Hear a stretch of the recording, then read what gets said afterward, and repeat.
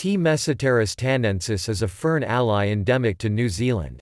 It is usually epiphytic on trees and tree ferns, but is occasionally terrestrial. An example of occurrence of T. tannensis within a tiered phytocoenosis is in central westland of South Island, New Zealand.